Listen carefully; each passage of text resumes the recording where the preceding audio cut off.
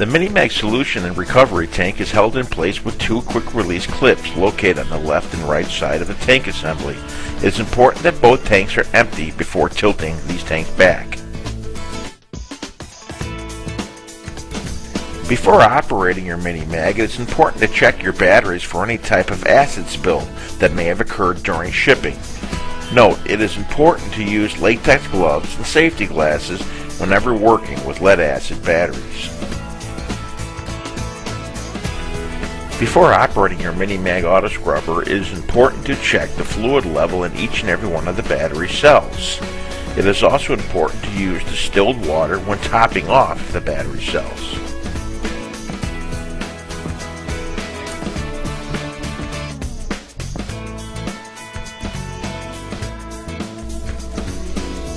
Tomcat Mini Mag has a 17 gallon solution tank that feeds water from the rear of the machine to the front of the scrub deck. This water is carried forward through a 400 mesh stainless steel screen.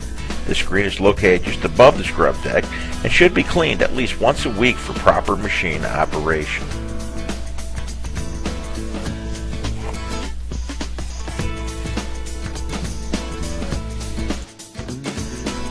Next, the solution leaves the solution screen and enters the solution on and off solenoid valve and enters the scrub deck for the proper solution dispersal through the shower feed brush assembly. The Tomcat Mini Mag has a quick release brush hubs. Simply depress the brush clips and the brush will release automatically as shown. All scrub brushes have a shower feed solution port that distributes cleaning solution equally throughout the entire brush assembly. Each brush is gimbal mounted so that the brushes will scrub evenly even on the most uneven of floor surfaces. To reinstall the brush, just simply hook the brush onto one of the corner hubs and press on as shown. If your Mini-Mag is equipped with a cylindrical scrub deck, it is important to know the use and care of this deck assembly. To access the cylindrical scrub brushes of your Mini-Mag, first remove the brass lock nut located on the front of the brush panel, as shown. Next, press the spring-loaded release clip.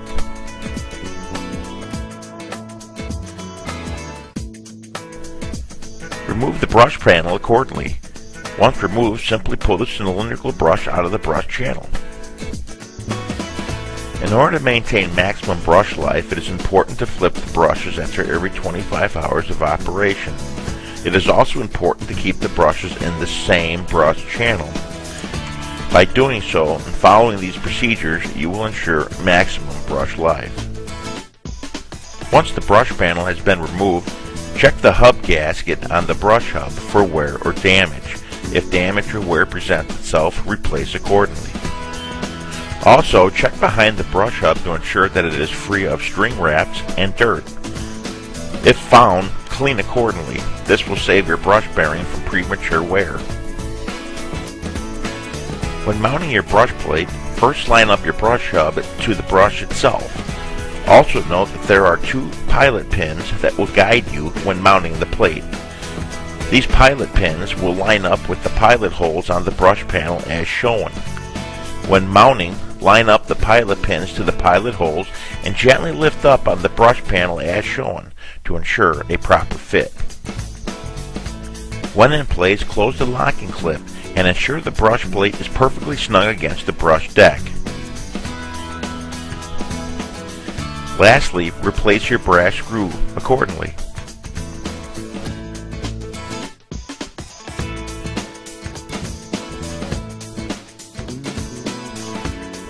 One other item to check is to make sure that the deck skirts are level with the ground when the deck is in the down position, as shown.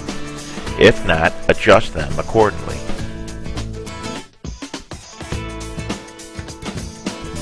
Your cylindrical mini scrubber is equipped with a debris tray. It is important to empty this tray throughout your cleaning cycle. To do so, remove the tray from the operator's left side. There are drain holes located on the bottom of the tray to clear the debris of any residual water. At the end of the day, simply flush the debris tray until it is clear of dirt and debris and replace accordingly. Caution, clear both hinge clips before closing the solution tank.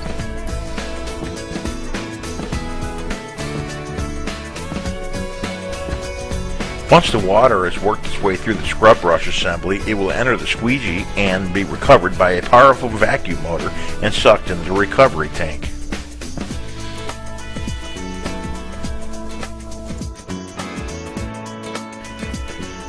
The recovery water will pass through a drain saver that will recover any debris that the squeegee has recovered, thus eliminating the clogging of any of your drain hoses. The vac motor is protected by a removable float shutoff that can be easily cleaned and serviced after your daily scrubbing operations. Once cleaned out, lock the auto lock clip on tightly as shown.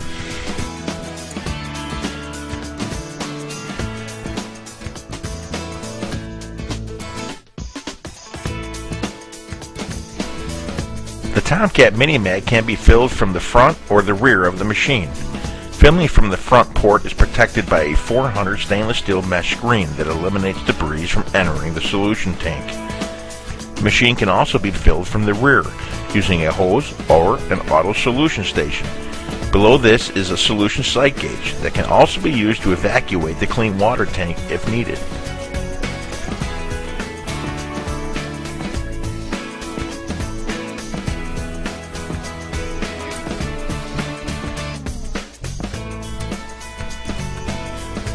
The handle assembly of the Mini-Mag can be adjusted to ergonomically fit the height of the operator. Consult your owner's manual for making these adjustments. Every Mini-Mag auto scrubber comes with a spare key. This key should be kept with the ship supervisor in case the primary key is ever lost.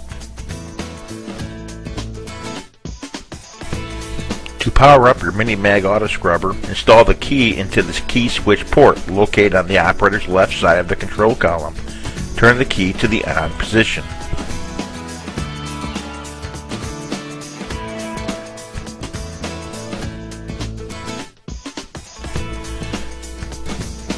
Once the key is turned to the on position, the LCD display will show a battery indicator, water set indicator, and brush brush set indicator. Also, symbols of a brush, water spigot, and vacuum shoe will illuminate when the systems are activated as shown.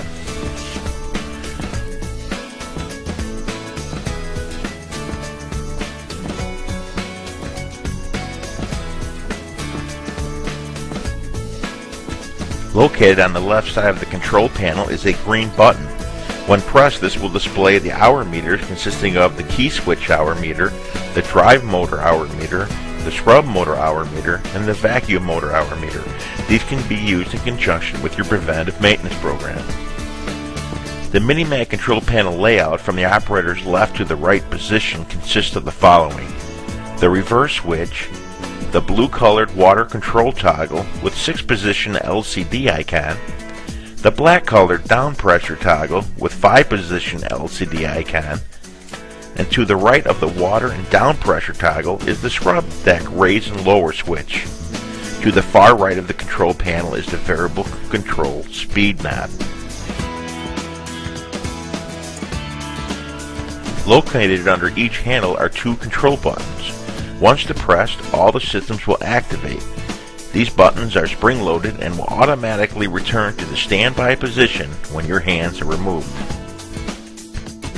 Lastly, the squeegee lever and vacuum activation handle is located at the top of the control panel. Moving the lever from the left to the right will lower the squeegee and activate the vacuum motor as shown.